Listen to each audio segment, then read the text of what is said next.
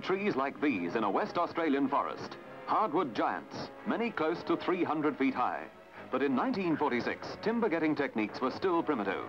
But even the tallest were vulnerable to axe blows, as a scarf is cut to guide the fall, and then a one-man saw, kept on a line by elastic guide ropes, completes the job.